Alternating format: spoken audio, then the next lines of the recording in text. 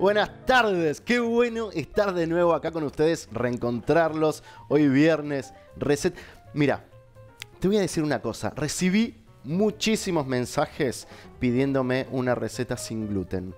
Esta receta sin gluten no es del todo dulce, es más bien saladita, pero está buenísima. Hoy te voy a preparar, mira, le decimos el chipá, la chipa, pan de queso en Brasil es exactamente lo mismo. Es este pancito cargado de queso que se hace a base de almidón de mandioca, ¿sí? Anota la receta, papel, lápiz, porque está buenísima. Hace unos días, eh, ya hace bastantes semanas, te diría, ¿te acordás esos bizcochitos de grasa que hicimos para el mate, que están increíbles? Bueno, acordate que esta te va a gustar más. Vamos con la receta.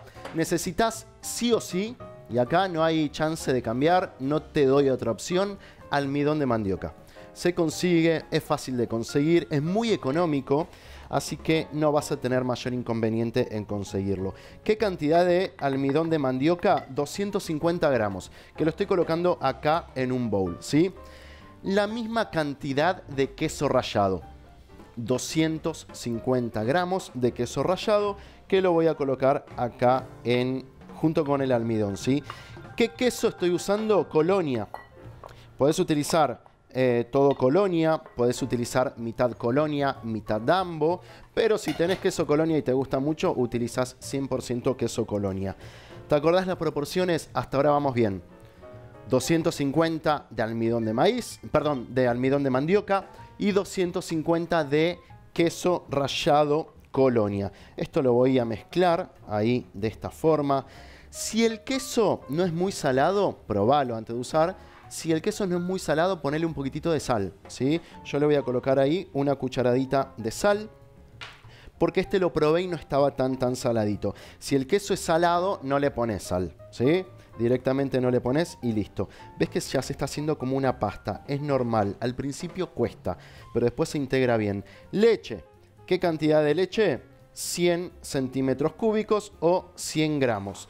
Le vamos a colocar también manteca. La manteca está fundida. 50 gramos ahí de manteca fundida. ¿Vamos bien? ¿Estás anotando? ¿Sí? ¿Seguro? Te dije. 250 de almidón de mandioca. 250 de queso colonia rallado. 100 gramos de leche y 50 gramos de manteca fundida.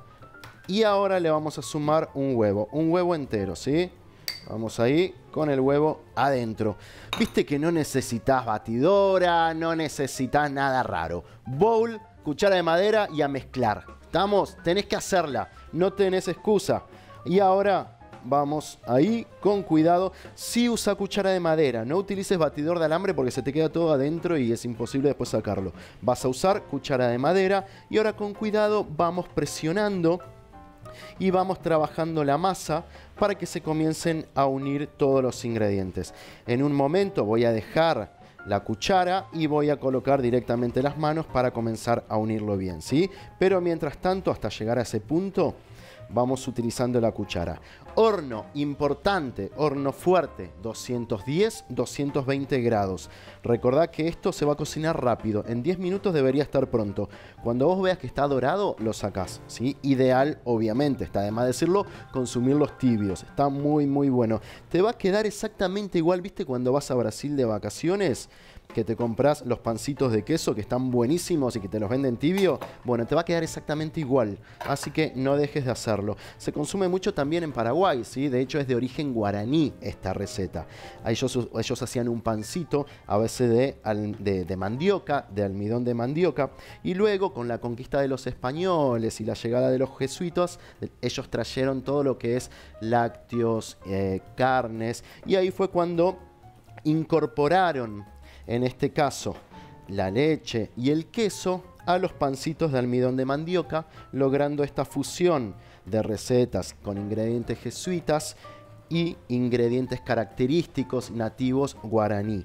Por eso se consume muchísimo en Paraguay y en todo lo que es la frontera con Argentina, con Brasil y aquí en, Uruguay también se consume eh, en la frontera con Brasil. ¿sí? Mira, cuando tenés esa masa ahí como media grumosa, lo bajás a la mesada y comenzamos a unir bien. Viste que es fácil de preparar, es simplemente mezclar todo. Acá sí amasa bien para que no te quede ningún grumito del el almidón. Vamos ahí. Te va a quedar una masa bien lisa. Si te gusta que tenga como eh, a ver cómo te explico. Si querés que se escape algún pedacito de queso y que se asome, cortalo en cuadraditos en vez de rayarlo. O podés rayar la mitad y la mitad la cortás en cuadradito. También podés, ¿sí? Mira cómo quedó la masa. Hermosa. Preciosa. ¿Sí? Ahí. ¿Viste?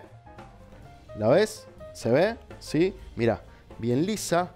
Yo la presiono y no se me pegan las manos. Está súper, súper lisa, súper tierna. Vengo acá y ya tengo pronta mi placa. La placa tiene un papel manteca. Esperen que me voy a acomodar acá, así trabajo más cómodo. Y vamos a tomar pequeñas porciones ¿sí? de la masa y comenzamos a hacer bolitas. En caso de que vos quieras vender estos chipacitos, lo que tenés que hacer es tomar una porción, pesarla para que todas las, porciones sean exactamente iguales. ¿sí? Haces de 20 gramos, de 25 gramos y de esa forma te van a salir todas iguales. Si lo vas a hacer para casa, como lo estoy haciendo yo, que lo vamos a compartir acá con el equipo, no hace falta que lo peses, agarras pequeñas bolitas y comenzás a colocarlo en la placa.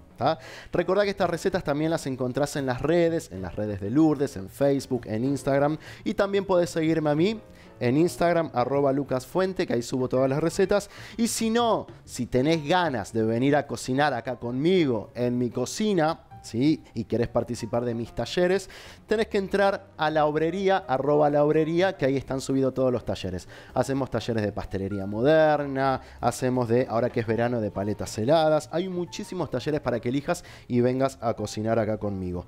Mientras tanto, yo lo que estoy haciendo es continuar con las bolitas. El horno ya está precalentado, no lo calientes a último momento, tiene que estar bien fuerte. Porque ¿sabes qué pasa si colocas la masa con el horno tibio y sin llegar a esa temperatura que te pido? Se van a empezar como a aplastar. ¿Sí? Se les hace como una pollera, que no queda lindo. Por eso el horno tiene que estar precalentado y tiene que estar fuerte. ¿Te acordás cuánto? 220 grados aproximadamente. Bueno, yo me quedo acá un ratito terminando estas bolitas. Van a salir bastantes, ¿sí? dependiendo un poco el tamaño que las hagas. Y ya directamente los llevamos al horno. Ahí.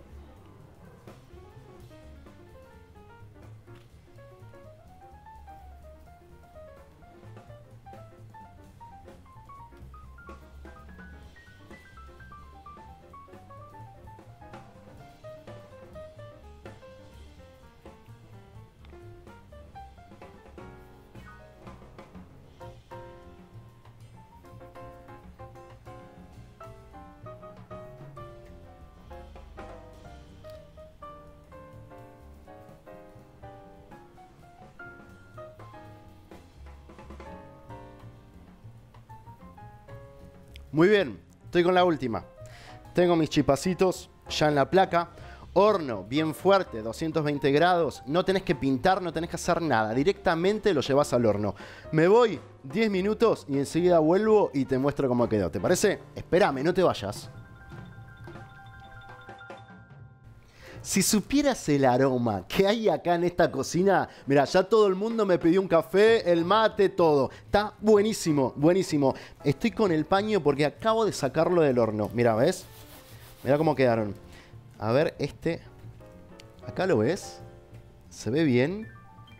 ¿Se puede ver? Dale, que la gente quiere verlo rápido. ¿Está? Mira el quesito ese. Yo me estoy quemando vivo, pero quiero mostrarte. Mira. ¡Ah!